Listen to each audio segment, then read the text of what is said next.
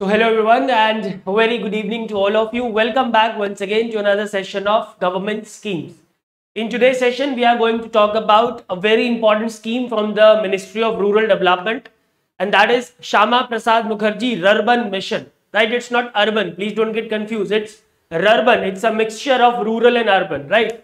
And this scheme guys was in news because the parliamentary reply has been recently submitted in the parliament by the ministry and उसमें यह बताया गया है that this that the targets under the scheme will soon be achieve जितने भी targets हैं scheme के under वो बहुत जल्दी अचीव होने वाले हैं and that is why it is in news as well so it automatically becomes important for the upcoming NABARD grade A examination because it is a part of ministry of rural development and it is in news right so there are two reason why this scheme is very very important right so let's begin with the session but before we begin if you want to have the P D F of this session you can join the Telegram channel The link is provided in the description. All right. So let's talk about this scheme. This is Shama Prasad Mukherjee Rurban Mission. Now, first of all, let's try to simplify the objective. Let's try to determine, in fact, the objective of this scheme. What is the objective? This the name of the scheme is Shama Prasad Mukherjee Rurban Mission. So, Shama, we all know Shama Prasad Mukherjee is a person, right? So, we can ignore uh, his name while determining the objective of the scheme. Now, Rurban mission. Mission means scheme or, or you can say yojana, right? So there is only one keyword on which you have to focus and that is Rurban, right? So if you know the meaning of Rurban, then you can easily identify the objective of this scheme. So let me tell you the objective first, then I will tell you the meaning of Rurban, right? So under this scheme, the government is establishing Rurban clusters across India. Rurban clusters are being established under this scheme across the country. Now, what is the meaning of urban cluster? So, as per the document of the scheme, this definition is given in the document of uh, this scheme. So, urban cluster is a cluster of geographically adjacent villages. See, there are, let's say there are five or six villages which are geographically adjacent, right? With a population of about 25,000 to 50,000 in plain and coastal areas. And this population should be about 5,000 to 15,000 in desert, hilly or tribal areas, right? So basically urban cluster is a group of villages, right? It, it, it is a group of villages where government wants to uh, give, where government wants to do the developmental activities under this scheme. Now, what type of development is this? This is economic development, right? Number one, this is economic development. Number two, basic services. Basic services जो कि rurban जो कि urban areas में हमें मिलती हैं right basic services are to be provided in these rurban clusters which are provided in the urban areas of the country and thereby reducing the urban rural divide right urban rural divide को कम किया जाएगा by investing in the rural areas by developing the rural areas now these rural areas will be developed in the form of clusters और you can say the group of villages and that group of villages is known as uh, Rurban cluster. All right, I hope the meaning of Rurban cluster is clear. So, Rurban cluster is a cluster of geographically adjacent villages with a population of uh, 25,000 to 15,000 in plain and coastal areas, while it is 5,000 to 10,000 in desert, hilly or tribal areas. All right. And what government is doing in these urban clusters? Government is developing these urban clusters by providing them with basic services which are available in the urban areas thereby reducing the urban rural divide. All right and of course it is being implemented by ministry of rural development which is headed by mr giriraj singh. And how many urban clusters will be developed?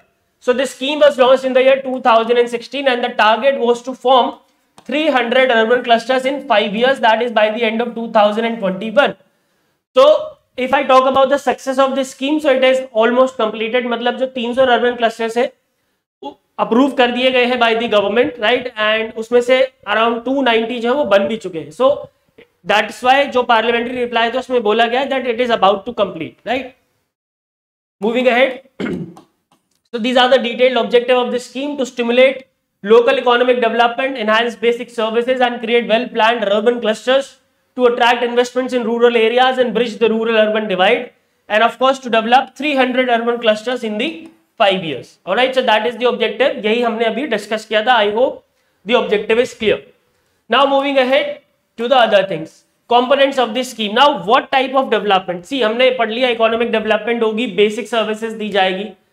What type of basic services are these that will be provided in these clusters so these are the basic services like skill development training linked to economic activities agro processing agri services storage and warehousing services fully equipped mobile health unit upgrading school higher education facilities sanitation provision of piped water supply right and इसके अलावा solid and liquid waste management village streets and drain street light inter village road connectivity public transport LPG gas connection digital literacy citizen service uh, centers now all these services will be provided in this urban clusters thereby reducing the gap between urban India and rural India now you must be wondering क्या ये अलग से सारी चीज़ें की जाएँगी? Like for example LPG gas connection क्या अलग से प्रोवाइड कराए जाएँगे इनको?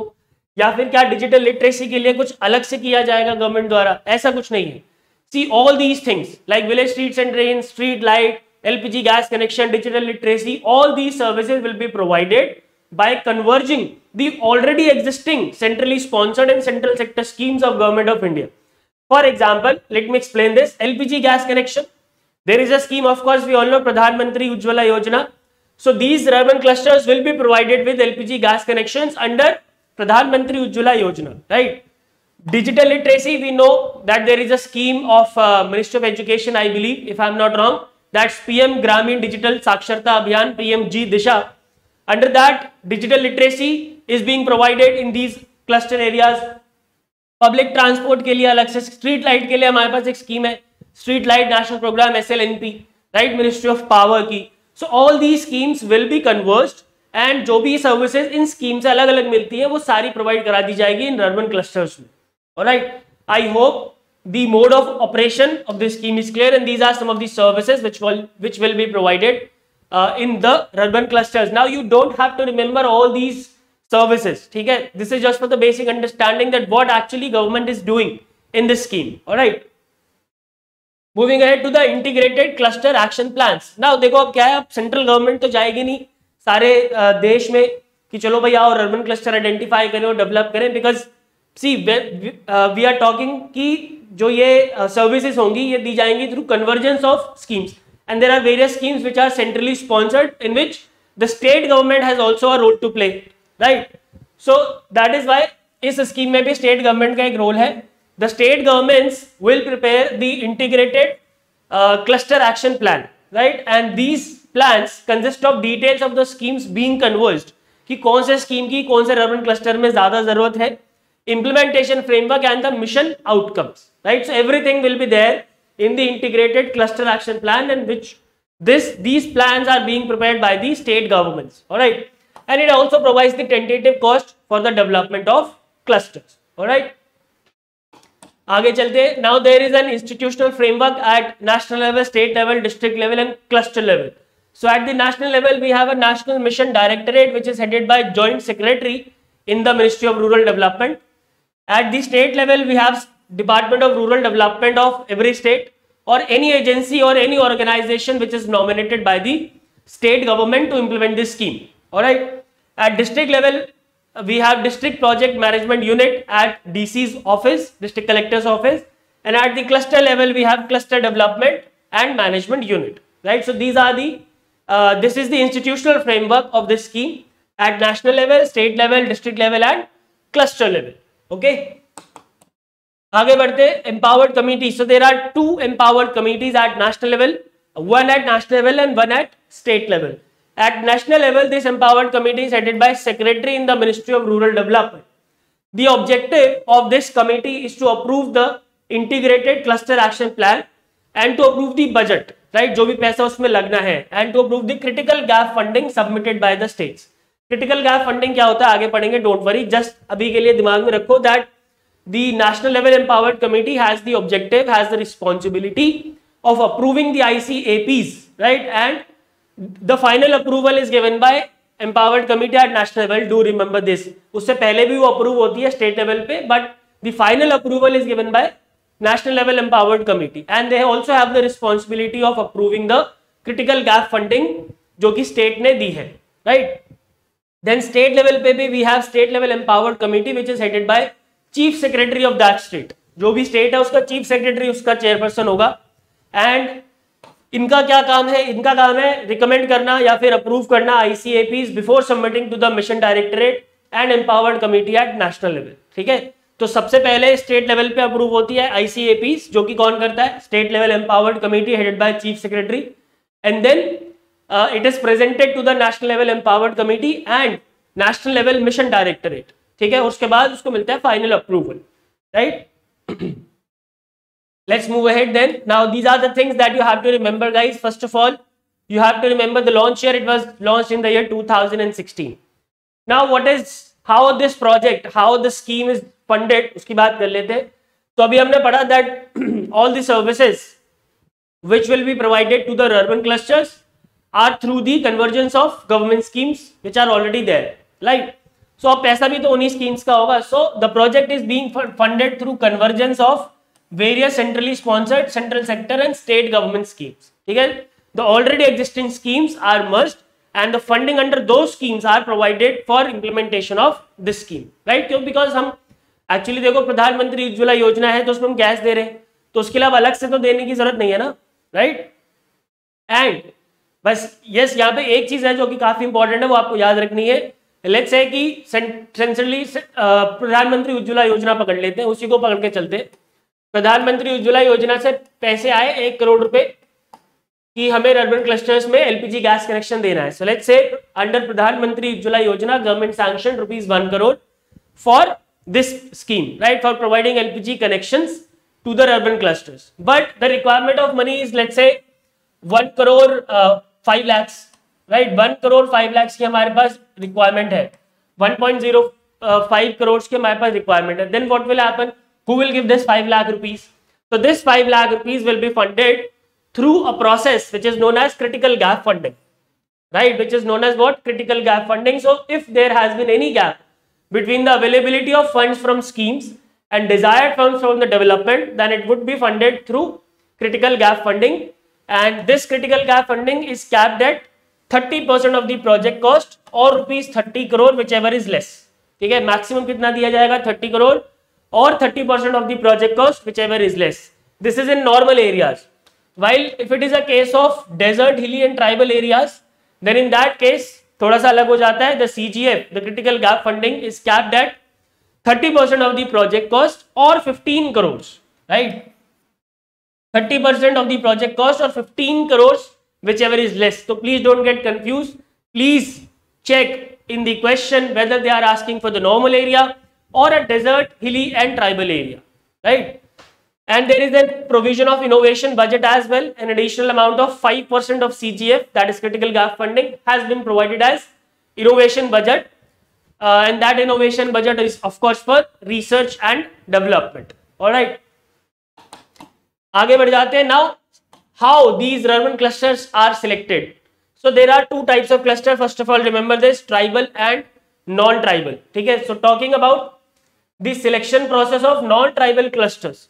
So for selection of non-tribal clusters, government has provided a list of leading sub-districts to each state. Her state को central government ने leading sub-districts का एक list दिया है within which the clusters could be identified जहाँ से cluster identify किया जा सकता है. Alright.